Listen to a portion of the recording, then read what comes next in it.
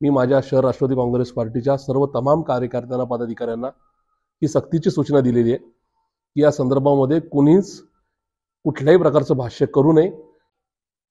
कसबा विधानसभा मतदारसंघाच्या आमदार तथा पुणे महानगरपालिकेच्या माजी महापौर सौ मुक्ताताई टिळक यांचं मागच्या तीन ते चार दिवसापूर्वी दुःखद निधन झालंय. त्यांच्या निधनामुळे निश्चित पुणे शहरातल्या सामाजिक आणि राजकीय वातावरणामध्ये सर्वच कार्यकर्त्यांमध्ये हळहळीचं वातावरण आहे. हे असं असताना मागच्या तीन चार दिवसात लगेच त्यांचा दशक्रिया विधी झालेला नसताना सुद्धा त्यांच्या जाण्याने जी विधानसभेची जागा रिकामी झाली आहे त्या संदर्भात ती जागा बिनविरोध निवडून द्यावी म्हणून त्यांच्या पक्षातली काही मंडळी बोलायला लागलेत.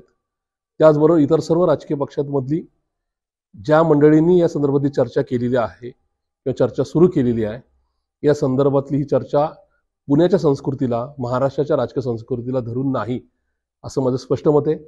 मी माझ्या शहर राष्ट्रवादी काँग्रेस पार्टीच्या सर्व तमाम कार्यकर्त्यांना पदाधिकाऱ्यांना ही सक्तीची सूचना दिलेली आहे की या संदर्भामध्ये कुणीच कुठल्याही प्रकारचं भाष्य करू नये. पुण्याची राजकीय संस्कृती खूप वेगळी आहे. पुण्याने राज्याला आणि देशाला कायम या ठिकाणी चांगल्या पद्धतीचा संदेश देण्याचा प्रयत्न केलेला आहे. आणि अशा वातावरणामध्ये जर माझ्या पक्षाकडून किंवा इतर कुठल्याही पक्षाच्या कार्यकर्त्यांकडून अशा प्रकारची निरर्थक चर्चा घाईची चर्चा जर होत असेल तर या ठिकाणी हे पुण्याच्या संस्कृतीचा अपमान आहे. आणि मला असं वाटतं की या पद्धतीने कुठल्याच राजकीय कार्यकर्त्याच्या जाण्यानंतर चर्चा व्हायलाच नको. योग्य वेळी ती चर्चा होईल. पण पुणे शहर राष्ट्रवादी काँग्रेस पार्टीचा अध्यक्ष या नात्याने आत्तापर्यंत सर्व झालेल्या चर्चा